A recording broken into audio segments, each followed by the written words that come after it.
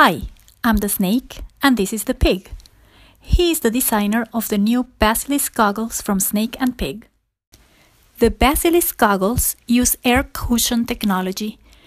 While traditional cushions have a single wall, the air cushion gasket is double walled.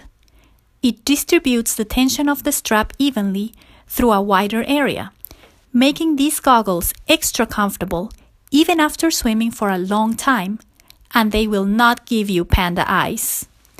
This makes them ideal for triathlon swimmers and for long periods of training. Our goggles have an adjustable nosepiece that is soft and easy to change.